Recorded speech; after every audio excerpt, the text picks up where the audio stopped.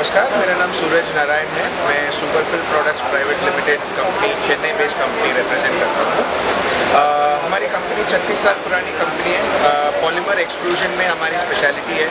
अलग अलग तरह की प्लास्टिक्स में हम वायर्स बनाते हैं। Right from point one six M M से लेकर सोलह एम एम तक की हम वायर्स बनाते हैं। दस साल पहले हमारी कंपनी ने एग्रीकल्चर के लिए एक प्रोडक्ट डेवलप किए थे एग्रोलाइन नाम से। एग्रोलाइन जो है, ये पॉलीमर वायर है, जो रिप्लेस करती है अपनी ट्रेडिशनल जीआई या स्टील वायर्स को, जो यूज़ किया जाता है क्रॉप को सपोर्ट करने के लिए, या फिर स्ट्रक्चर्स जो ग्रीन हाउस पॉली हाउस के स्ट्रक्चर सपोर्ट करने के तो ये प्रोडक्ट को हम पिछले 10 साल से मार्केट करते आ रहे हैं। इनसे six times light light weight होता है। तो काम करना भी आसान होता है लेबर के खर्चे काफ़ी कम हो जाते हैं।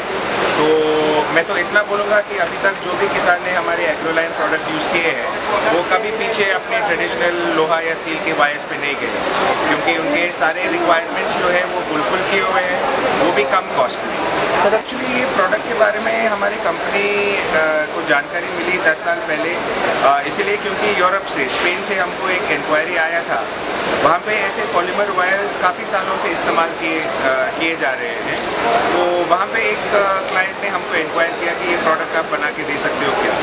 जिसके हिसाब से हमने उसको डेवलप करके उनको दिया तो मैं कॉन्फिडेंटली बता सकता हूँ कि हमारी एग्रोलाइन की जो क्वालिटी है, वो इंटरनेशनल स्टैंडर्ड से हम कंपेयर किए जा सकते हैं, खास करके यूरोपियन मार्केट में, जो कि बहुत क्वालिटी कॉन्शियस है।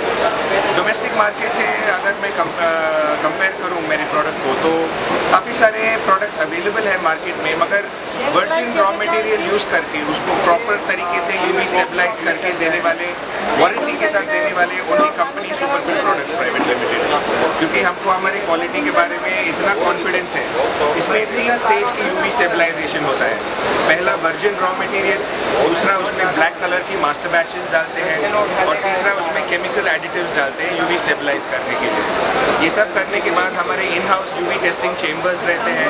हर लॉट जो है वो यूवी टेस्ट पास करके ही क्यूसी पास करके ही वो मार्केट में आता है। बाहर देशों में हम देखे जाए तो ऐसे पॉलीमर वायर्स जो है कंपेयर टू लोहा या स्टील वायर्स वो ज़्यादा कॉस्ट में बिके जाते हैं। क्योंकि ऐसे प्रोडक्ट्स यूज़ करने से काफ़ी लेबर में भी बचत होती है काफ़ी अदर कॉस्ट में बचत होता है। तो वो कंपनीज़ वायर में ये कॉस्ट को जोड़ जोड़ के उसको महँगा करते हैं। वेरेज हमको क्या चाहिए? हमको, हमारी कंपनी जो है प्रोडक्ट का क्वालिटी लाने के लिए जितना हमको इनपुट कॉस्ट लगता है उससे बहुत कम मार्जिन डालकर हम ये प्रोडक्ट को पेश करते हैं फार्मर को।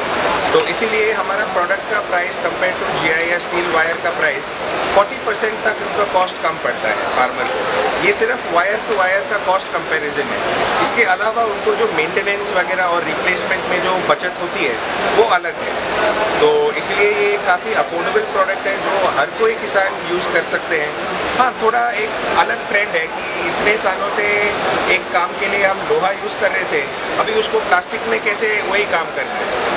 वो एक टेक्नोलॉजी पे भरोसा होना चाहिए सर जैसे कि एक दस साल पहले तक कोई भी हमारा सूटकेस वगैरह, वो लोहे के बनते थे ट्रंक जैसा। आज के डेट में ऐसा ट्रंक का सूटकेस हमको सिर्फ़ म्यूज़ियम में दिखेगा। सब प्लास्टिक में कन्वर्ट हो चुका है। वो एक भरोसे की बात होती है, एक बार उसको ट्राई किया तो फिर उसका एक्चुअल रिज़ल्ट पता चलता हमारी एग्रोलाइन में, जैसे मैंने बोला, हम आठ साल की वारंटी देते हैं। आठ साल की वारंटी के बाद ये प्रोडक्ट को बिल्कुल बदलना नहीं पड़ता है खाली थोड़ी सी मेंटेनेंस लगती है जैसे कि वायर्स को टाइट करना पड़ता है, उसके बाद आगे एक आठ साल और ये वायर चल सकता है। तो कुल मिला के शेल्फ लाइफ जो अगर हम लोहे की वायर्स को फाइव टू सिक्स ईयर्स पकड़ते हैं डायरेक्टली डबल लाइफ उनको मिलता है ये हमारे प्रोडक्ट्स और ऐसा है कि जब कोई प्रोडक्ट को रिप्लेस करना हो, अगली बार जब हम मार्केट में जाते हैं, तब छः साल में प्रोडक्ट का प्राइस काफ़ी बढ़ जाता है।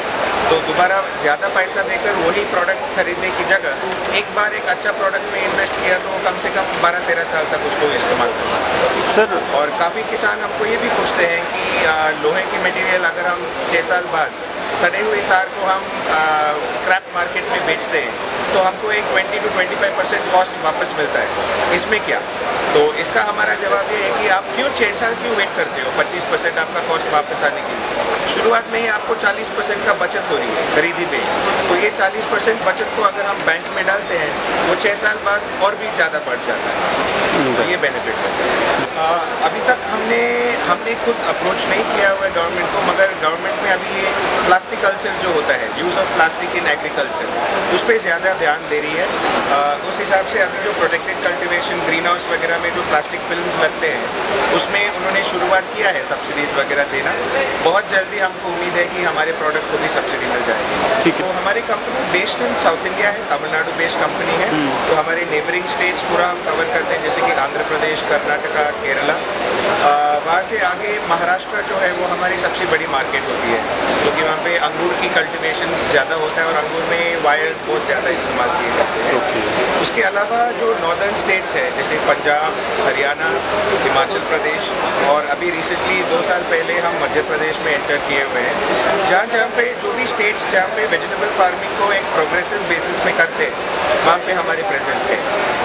मैं ये बताना चाहूँगा कि कोई भी नया प्रोडक्ट जब आता है उसको ट्रायल ट्राई करने में थोड़ा सा आदमी सोचता है, मगर डर के आगे जीत है। हमारी प्रोडक्ट में इतना दम है, तभी हम हर जगह इसको फैलाना चाहते हैं। एक बार कोई भी यूज़ करेगा तो उसका पूरा बेनिफिट उनको पता चलेगा।